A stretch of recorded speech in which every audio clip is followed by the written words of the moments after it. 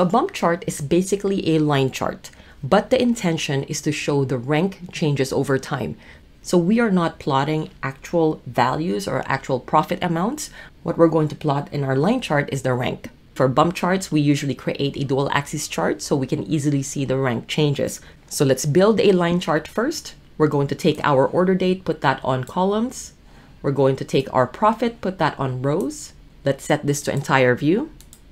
And let's take our subcategory and put that on detail. What we have right now is just a regular line chart. But what we want to do is we want to take all the subcategories in a year and we want to rank them against each other. So we can add our quick table calculation for rank now. So on our measure on the drop down, quick table calculation, it's going to be rank. Up front though, it doesn't look right. If we hover over any of these points, it's actually going to tell us that it's ranking profit along table across. But again, what does that mean?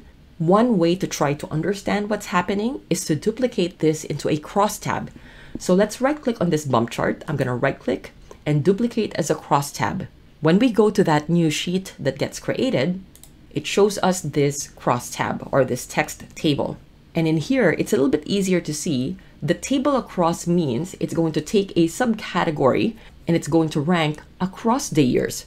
So it's going to take the profit on a year to year basis, for example, for accessories, and it's going to rank if 2022 is the highest one and 2019 is the lowest one.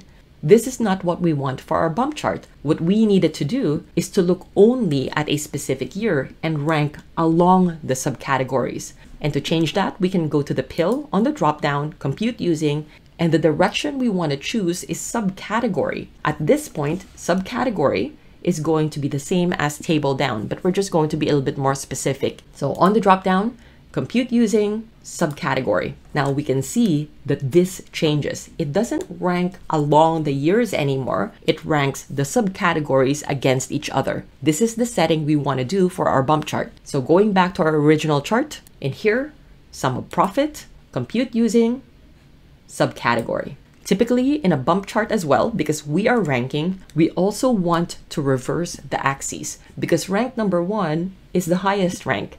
But by default in a line chart, the one that has the highest number will be at the very top of the axes. So we're just going to reverse this. So we can right click on the axes, edit the axes, and from here we can reverse. So let's reverse this and close. So this is essentially your bump chart, but we're going to make some adjustments to make it a little bit more presentable. We're going to make this into a dual axis chart. We're going to duplicate our sum of profit that has rank. Once we duplicate this over, we're going to use circles so we can put the rank inside the circles. So let's copy the sum of profit over, control drag or a command click drag if you're on a Mac. And for the second pill, we are going to use the second marks card.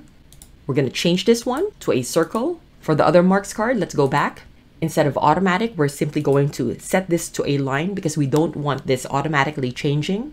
And now going back to the circle, what we want to do is to adjust the circle so that it has the actual rank inside the circle. So we can copy over the rank. We're going to put this in the label. So control drag our profit. And in here, we're going to set this to be inside the circle. So in here, let's align this to be center. Right now we don't see anything because we have very big circles, so let's just adjust the size. And for now, let's make this into a dual axis chart first so that we can reclaim a little bit of the space. So for the second pill in your rows, on the drop down, you should be able to find a dual axis option. Let's adjust the circle size again. So make sure you are targeting the marks card that has the circle icon. So under size, adjust this a little bit more so that we have slightly bigger circles. Now, a few more things to adjust. The second axis actually starts from 0 all the way to 18. So we do need this to be reversed, and we're also going to synchronize the two axes that we have right now. So let's reverse this first. So right click, edit axis. We're going to reverse this. We're going to right click again on the second axis, and we're going to synchronize. Now we may not want to show the axes as well. So we're just going to hide the headers. So right click on the axes, uncheck show header. So it's going to look like this. Let's make one more adjustment to the circle size. It's still a little bit big, be something like that. And maybe adjust the label font. One more change that we might want to add is to have the label for the subcategory on the line ends. So let's do that. So let's go to the line marks card. And from here, we're going to change the subcategory. Instead of detail, we're going to set this to label. You can do this by clicking on the icon or simply dragging subcategory to label.